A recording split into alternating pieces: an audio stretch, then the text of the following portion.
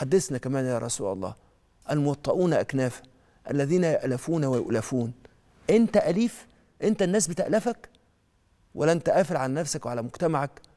فما بتكلمش جارك ولا بتكلمش ولا بتكلمي جارتك ولا بتكلم الناس في الشارع وتقول يا رب ده أنا عايش هنا في كم من الناس اللي ما بيطعوكش. أنا خايف إن. أنا خايف إن أنا أتعذب بسبب الناس المحيطين. إيه إيه البشاعة دي؟ فأنت على فكرة مش جاي الحياة عشان تثبت إن أنت الأفضل. أنت جاي الحياة عشان تعيش عبد لله. بالمناسبة أنت عبد لله. وهم عبيد لله. وعلى فكرة أنت ممكن تكون شرير لأن أنت بتطلع أسوأ ما في الناس. لأن الشرع أمرك إنك تدفع بالتي هي أحسن. والشرع أمرك إن أنت تخرج أجمل ما في الناس وأحسن ما في الناس. وعشان كده كرامة العبد في حسن افتقاره لمولاه. وعشان كده علامة إنك بتعيش بدين الله في الحياة إنك تعيش بالتراحميه مش بالطبقية. يعني إنك إنك رحمة للناس. الله سبحانه وتعالى قال وعباد الرحمن الذين يمشون على الأرض هونا. أنت بتمشي على الأرض هونا ولا بتمشي على الأرض الناس شايفين رسول رسول الله جه ولا لأ؟ ده أنت ناقص أنت وماشي على الأرض. تقول يا جماعة أنا وصلت. ما تقولوا طلع البدر علينا. حتى انت طلع البدر علينا بتقول إن هي طلع البدر علينا ده حديثها ضعيف. فأنت حتى طلع البدر علينا بتقول إن هي مش موجودة. مش ممكن تكون أنت عايز إن أنت تكون خير للناس وأنت الناس ما تشوفش منك خير. رسول الله صلى الله عليه وسلم قال خيركم خيركم لأهلي وأنا خيركم لأهلي. وقال خير الناس أنفعهم للناس. أنت أنفع للناس وبعدين تدعي إن أنت شبيه بتتشبع بحضرة النبي. أنا شايف إن هو يعني يبقى في حمره خجل شوية. عشان إن أنت لو شبيه بحضرة النبي كنت تقدر تخرج أجمل ما في الناس.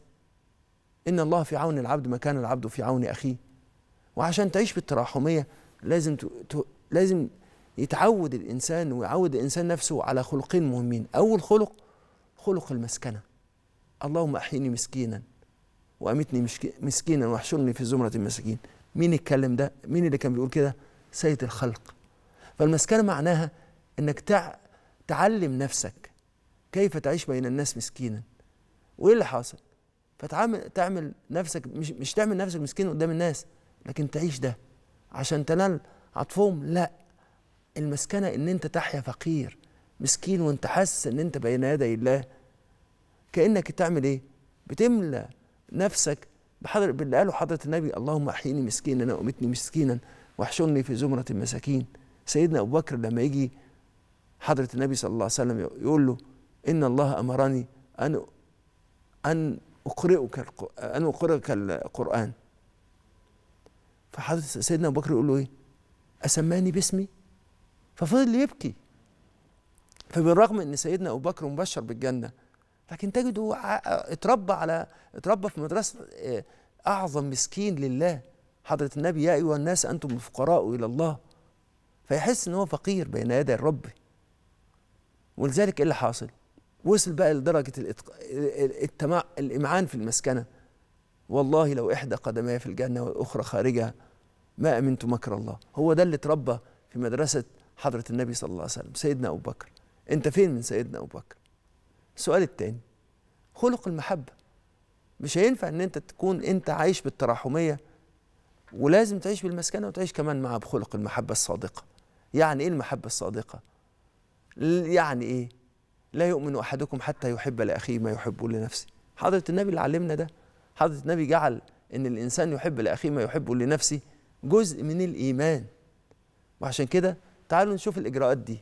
أول حاجة عود نفسك على إنك أنت تخدم اللي حواليك بدون نظر ولا بدون تمييز وتخدم خاصة اللي لقيت في نفسك إن هو أفضل منك.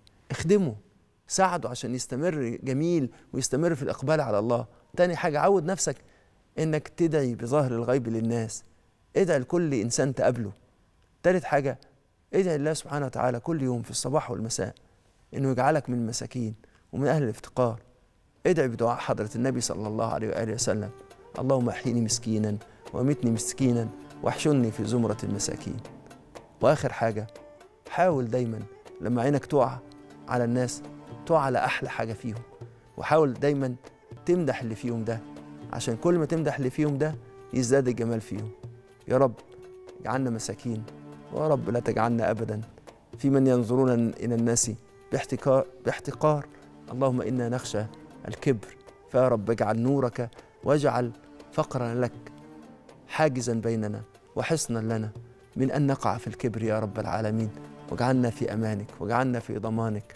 واجعلنا يا ربنا موطؤون أكنافا لعبادك. واجعلنا هينين من أهل السهولة ومن أهل اللين يا رب العالمين في كل وقت وحين.